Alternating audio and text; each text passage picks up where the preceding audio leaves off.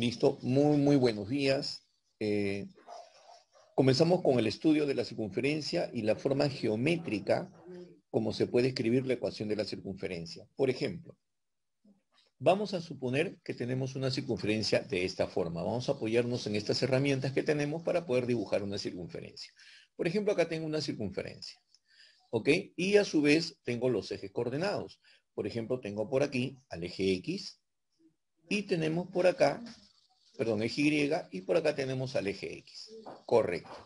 Si nosotros tomamos el centro, el centro de la circunferencia, y trazamos una línea hacia abajo, y del centro de la circunferencia trazamos una línea horizontal, entonces vamos a tener unos puntos. Estos puntos los vamos a conocer como el punto H, K. ¿Ok? Sería el punto H, K. Listo, ya está. H, K. Bien, ya tengo ese punto de la circunferencia al cual le vamos a llamar centro de la circunferencia. Entonces, el centro, el centro de la circunferencia está definido por un H, K. Ese es el centro. Bien, son datos que nosotros tenemos. Ahora, si nosotros tomamos un punto en esta circunferencia, tomamos un punto cualquiera, por ejemplo, puedo tomar este punto de acá, voy a ampliar un poquito la, visión para poderlo observar mejor. ¿Listo? Solo esa área, solo esa área. Voy a ampliar el punto, ¿ok? Voy a ampliar este punto, vamos a bajar un poquito más. Ya está, ¿no? Bien. Listo, tendríamos únicamente esto.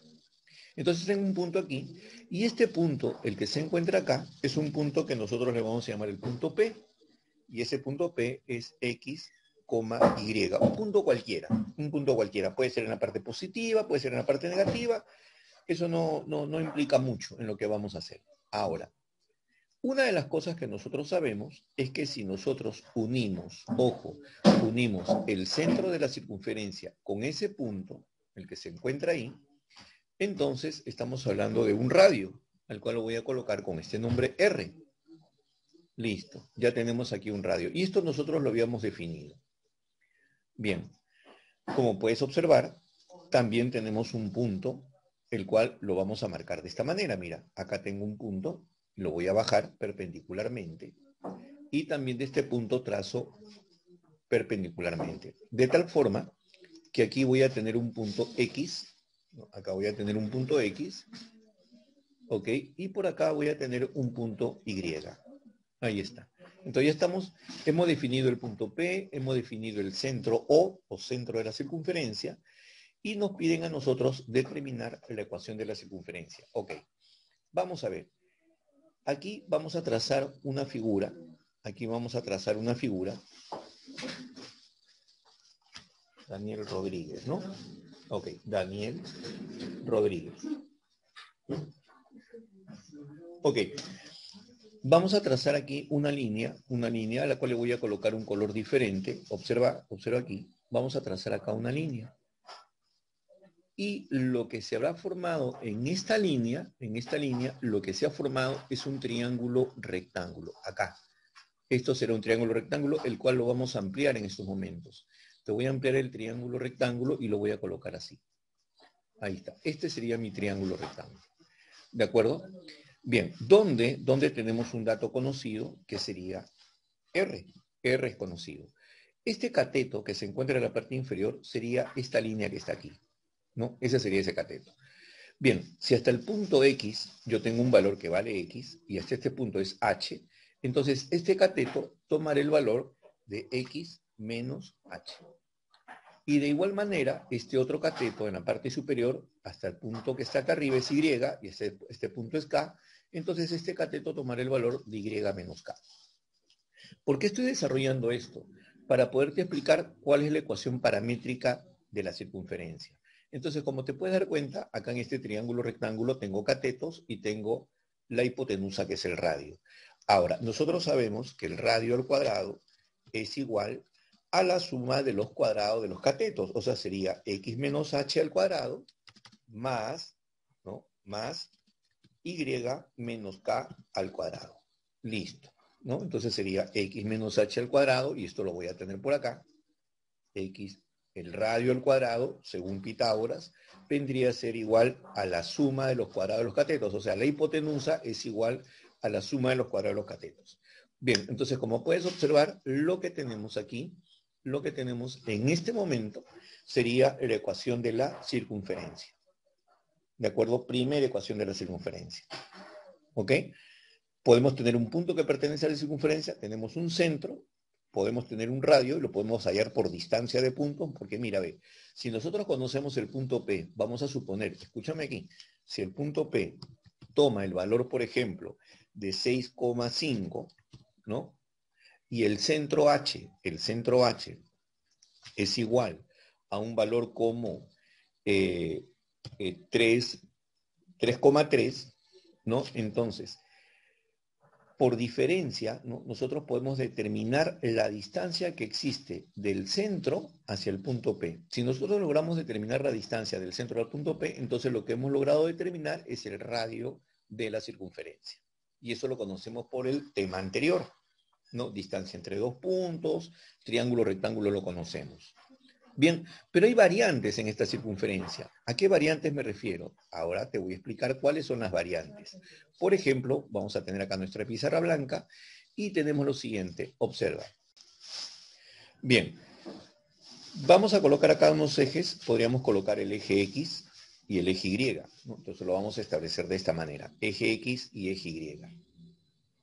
Ya, eje X y eje Y. Vamos a hacer un poquito extenso para que nos pueda ayudar Aquí tenemos los ejes. Ahora, ¿qué es lo que vamos a hacer? Vamos a establecer una circunferencia, pero en este caso la circunferencia que vamos a dibujar va a tener una característica especial. Esta circunferencia va a tener la siguiente característica. ¿Cuál? Que el centro de la circunferencia va a coincidir con los ejes coordenados. ¿Esto qué quiere decir? De que el centro de la circunferencia, este centro, va a ser igual a un h, k, que es conocido por nosotros, pero que también va a ser igual a un 0,0. Este es el centro.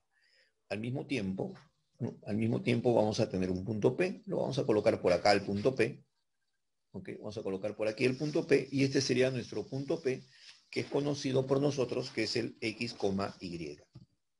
No te olvides que el centro de la circunferencia es 0,0. Entonces, con estos dos datos, nosotros vamos a determinar nuestra ecuación de la circunferencia. Pero como nosotros conocemos la ecuación de la circunferencia, sabemos que la ecuación de la circunferencia sería x menos h al cuadrado más y menos k al cuadrado, y esto va a ser igual a quién? A radio al cuadrado. O sea, esto nosotros conocemos como la ecuación de la circunferencia en geometría analítica. La ecuación, ¿ah? estamos hablando de la ecuación, estamos hablando de la fórmula que permite determinar la longitud o el área de un círculo. De eso, de eso no estamos hablando, estamos hablando de una ecuación de la circunferencia. Entonces, esta sería nuestra ecuación de la circunferencia. ¿De acuerdo? Esto lo conocemos por el concepto anterior. Ahí está. Esto está conocido por el concepto anterior. Bien. Pero ¿qué está sucediendo ahora? El centro, que es h, k, toma el valor de 0,0. Ah, ok. Quiere decir de que mi ecuación de la circunferencia quedará reducida a la siguiente expresión. Observemos. Ecuación de la circunferencia quedará reducida a esta expresión. Ok. ¿Esto qué nos quiere decir? Esto nos quiere decir lo siguiente. Que cuando la ecuación de la circunferencia sea igual o el centro de la circunferencia se encuentre en el origen de coordenadas, nuestra ecuación de la circunferencia tomará este valor. ¿Ok? Tomar este valor. x cuadrado más y cuadrado igual a r cuadrado. Esto será cuando la ecuación de la circunferencia tiene como centro el origen de coordenadas. Después, para cualquier otro caso, nosotros podemos determinar las ecuaciones de la circunferencia. Bien, tenemos estos dos casos iniciales porque aparte tenemos también las elipses, que es lo que vamos a trabajar en esta parte de geometría analítica. Bien, vamos a ver. Entonces tenemos acá nuestra plataforma educativa Van Room y el curso de geometría. Ejercicios, la circunferencia, geometría analítica. Vamos a ver. Listo, vamos a compartir aquí nuestra pantalla de trabajo. Listo. Acá tenemos nuestra pantalla. Bien, observemos el ejercicio, el ejercicio número 7 en esta pantalla. Este ejercicio número 7 es un ejercicio pendiente. Entonces, observemos acá, por favor. Dice, determine la ecuación de la circunferencia inscrita en el triángulo ABC. ¿Esto qué significa? Significa que va a existir una circunferencia dentro de este triángulo. Aquí vamos a tener una circunferencia que está dentro del triángulo. Aquí está, ¿no? Esta es mi circunferencia dentro del triángulo, la cual vamos a adecuar para que pueda estar dentro. Cuando nos dice inscrita, significa que está aquí dentro. ¿Ok? Está dentro donde los lados del triángulo eh, estarán generando tangencia con esos puntos. Tendremos ahí puntos de tangencia, que es otra de las cosas que también vamos a tomar en cuenta para esta resolución. Bien, hasta ahí solo tenemos esta expresión, a la cual le vamos a dar, le vamos a dar un grosor considerable para poderlo identificar más rápidamente. Vamos a colocarlo de esta manera. Listo. Aquí está mi ecuación de la circunferencia. No tanto la ecuación, pero sí tenemos la representación gráfica de lo que está sucediendo. Nos, piden determinar la ecuación de la circunferencia. Ok, la ecuación de la circunferencia en conceptos generales, x menos h al cuadrado más y menos k al cuadrado igual a radio al cuadrado. Ok. Ahora, eh, se sobreentiende una cosa, se sobreentiende que acá hay un punto 0,0. Entonces, lo que necesitamos es hallar el centro de la circunferencia. ¿De acuerdo? Necesitamos hallar el centro de la circunferencia. Ahora, ¿cómo determinamos ese centro? Bien, vamos a ver. Lo podríamos determinar de esta forma. Observemos aquí. Del centro de la circunferencia, de este centro de la circunferencia, podríamos trazar nosotros una línea paralela al eje X. Aquí está, paralela al eje X. ¿De acuerdo? Desde el centro de la circunferencia. Ahí está. Podemos lanzar una línea paralela. ¿Y esta línea paralela para qué me va a servir? Justo para poder establecer un radio, que es lo que nosotros necesitamos. Entonces, observa aquí. ¿Ok? Acá tenemos una línea que va a llegar hasta este lugar y por acá tenemos otra línea. Entonces tenemos dos líneas para establecer el radio. Ahí está, ¿no? Y acá vendría la otra línea. Listo, vamos a atenuar un poco esas líneas para poderlas reconocer más rápidamente. Inclusive le vamos a dar el mismo color anterior. El mismo color anterior para que se mantenga, ¿no? Para que se mantenga. Listo, acá está. Esto es lo que nosotros conocemos como el radio. ¿De acuerdo? Ahora, ¿qué necesitamos? Necesitamos determinar el radio. Ok, necesitamos determinar el radio. La pregunta es, ¿cómo puedo determinar el radio? ¿Listo? ¿Cómo determinamos el radio? Ajá. Ahí está. ¿Listo? Entonces, Marlon dice que es x más 2 al cuadrado más y más 2 al cuadrado igual a 4. La pregunta es que ese 4, el teoremita. ¿Y cuál es ese teorema, este, Matuda? ¿Cuál es el teorema? De Pitágoras. Ya. El teorema de Pitágoras, ojo, el teorema de Pitágoras lo que te va a permitir es encontrar los lados. Ojo, este lado de acá, todo este lado vale 8 y todo este lado de arriba vale 6. Entonces, por Pitágoras puedo encontrar la hipotenusa AC.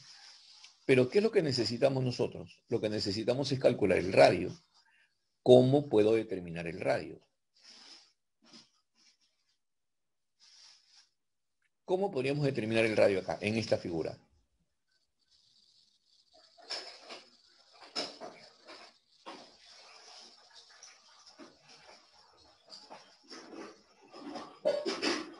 Ojo que también tenemos otra línea, ¿no? Si tú deseas, tienes otra línea que podría establecerse de esta manera.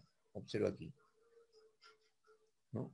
Esta es otra línea, que también va a este punto de tangencia. Ya está. ¿Ves?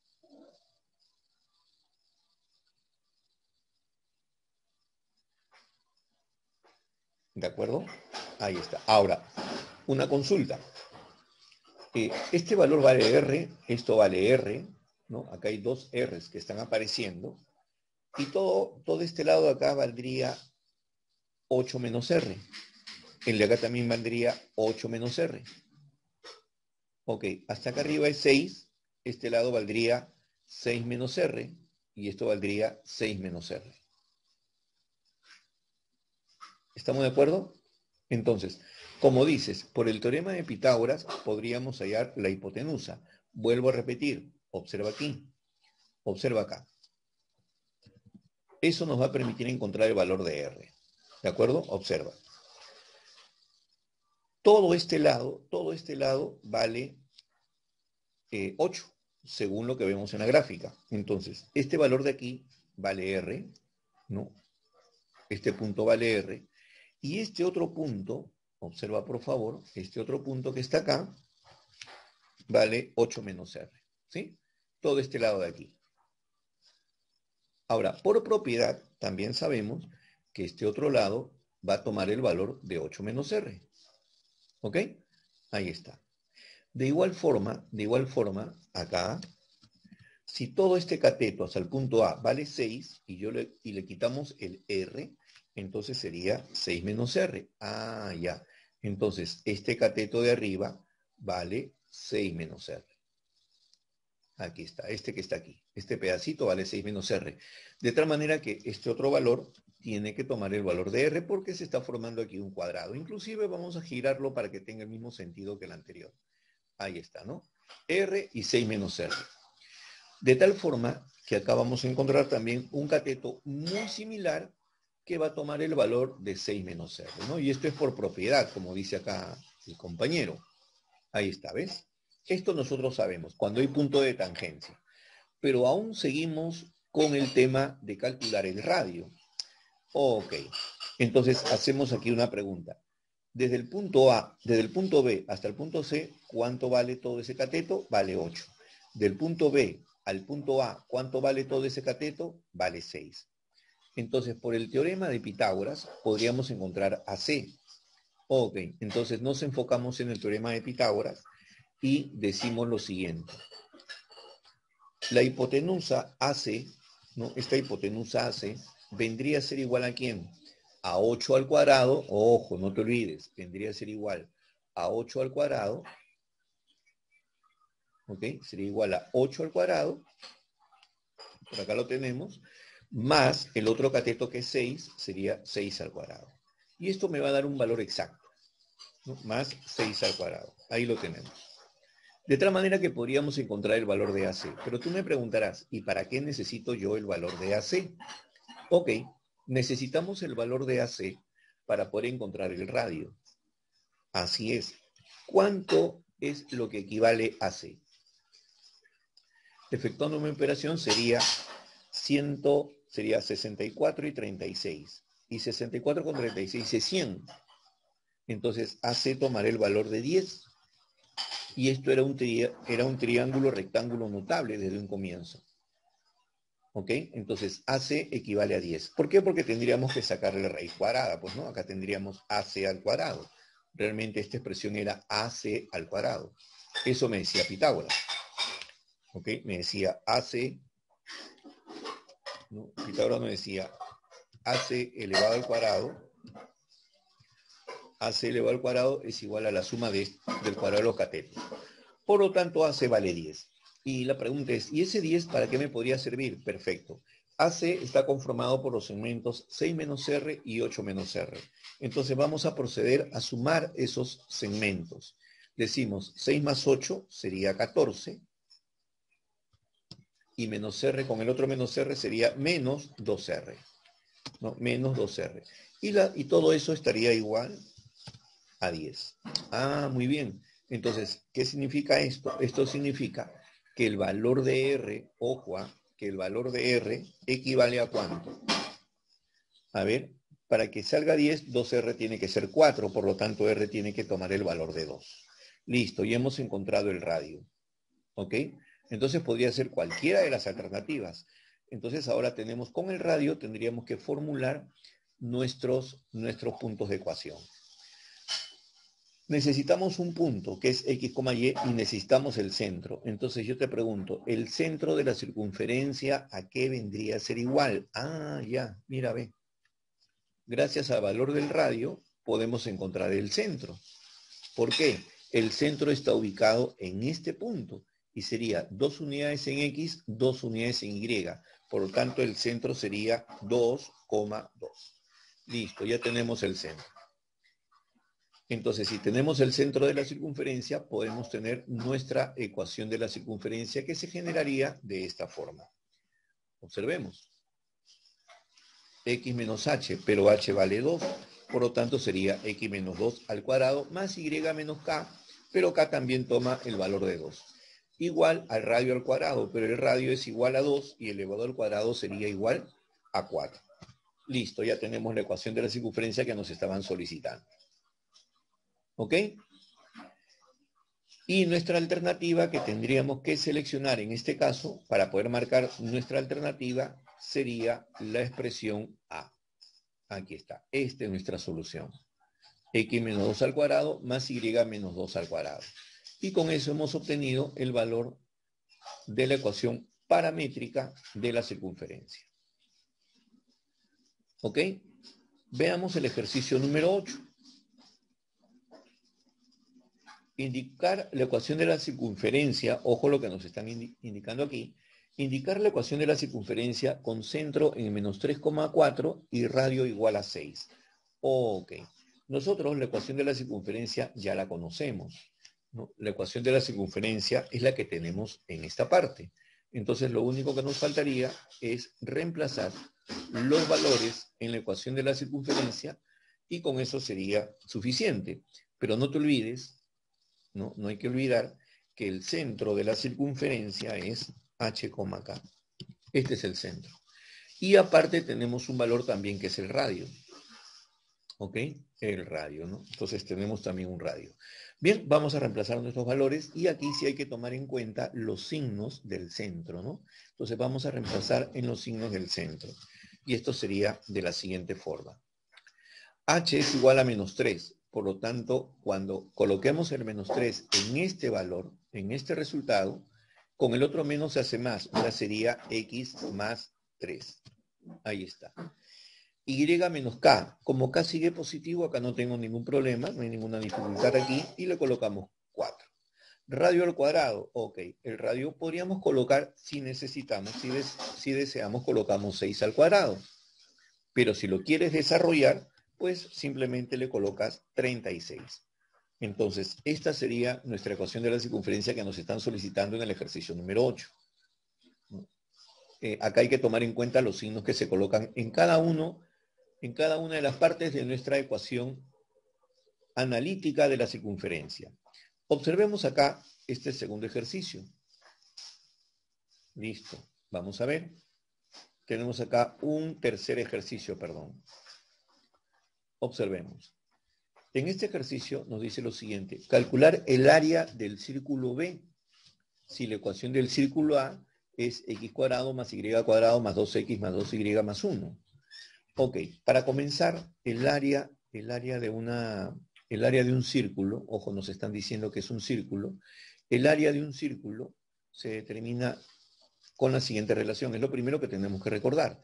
El área del círculo, el área del círculo, esto va a ser igual a pi por radio al cuadrado. Es algo que tenemos que recordar.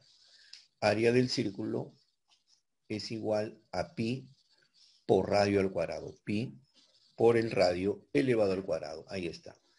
Bien, es lo que tenemos que recordar. Entonces, para poder hallar el área del círculo, necesitamos, necesitamos tener el valor del radio. ¿Ok? Entonces ya tenemos esto y necesitamos el valor de nuestro radio. Bien. Listo. El área del círculo es igual a pi por radio al cuadrado. Bien, entonces, eh, para poder determinar el radio, ojo, ¿ah? observa el, círculo A y el círculo B. Nos han indicado que son del mismo tamaño los círculos. Dice calcular el área del círculo B si la ecuación del círculo A es x cuadrado más y cuadrado más 2x más 2y. Ok. Vamos a trabajar con el círculo A, el círculo A que tiene un radio igual acá. ¿De acuerdo? un radio igual acá. Entonces, observemos aquí. vamos a trabajar algebraicamente aquí, ¿ah? Ojo, ¿ah? vamos a trabajar algebraicamente. O sea, ¿a qué me refiero algebraicamente? Observa. Tenemos aquí un x al cuadrado más un y al cuadrado más un y al cuadrado.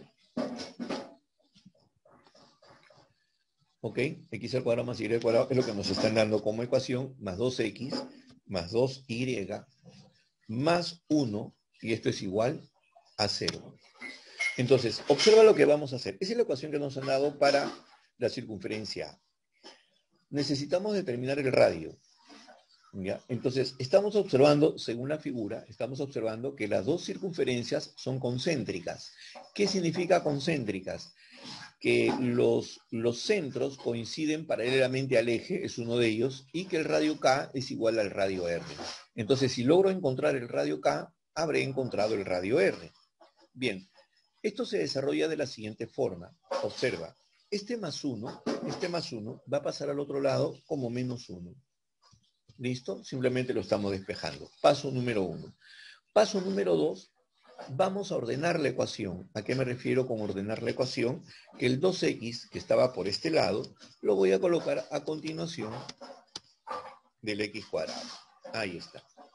Entonces, como puedes observar aquí, como puedes observar, eh, serían unos trinomios incompletos, digamos así, ¿no? Serían unos trinomios incompletos. Ah, ya.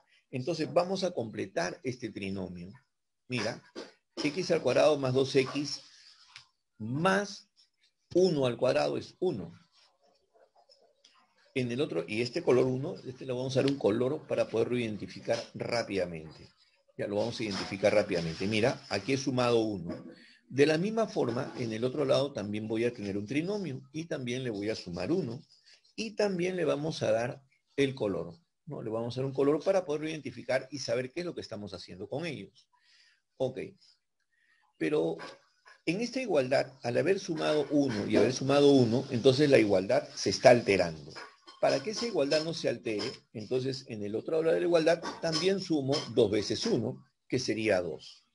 ¿Ok? Si en el lado izquierdo he sumado 2 y lo he, separado como 1 y 1, en el lado derecho también he sumado 2. Listo, entonces ya se generó aquí un equilibrio. ¿Ok? Acá se ha generado un equilibrio.